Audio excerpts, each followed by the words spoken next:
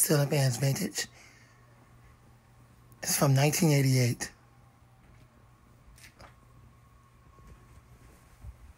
There you go. Believe it's a Hampton Bay. Looks like it. Here's another vintage ceiling fan right here. This is a Hunter Comfort Breeze from 1987. Still going strong.